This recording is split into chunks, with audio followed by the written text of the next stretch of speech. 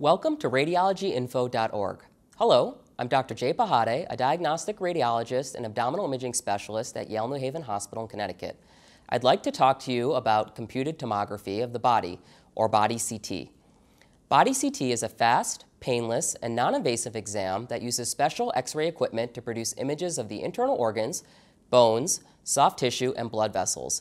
It's often used to examine patients with trauma injuries, abdominal pain, and is effective for identifying many different types of cancer. Body CT typically refers to a CT exam that may image your chest, abdomen, or pelvis either alone or in combination. If you're scheduled for a body CT, there are several things you can do to prepare. First, talk to your doctor about any recent illness or medical conditions. Tell your doctor about all the medications you're currently taking and whether you have any allergies.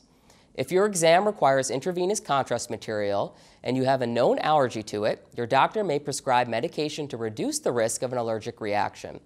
Also, be sure to inform your doctor and the CT technologist if there's any possibility you might be pregnant. You may be asked not to eat or drink anything for a few hours before the exam. Wear loose, comfortable clothing and leave any jewelry at home. You may be asked to wear a hospital gown. You may have some concerns about CT scanning. While body CT does expose you to a small dose of radiation, it's important to consider the value it provides for your care. The benefit of an accurate diagnosis far outweighs any risk. For more information about body CT, visit radiologyinfo.org. Thank you for your time.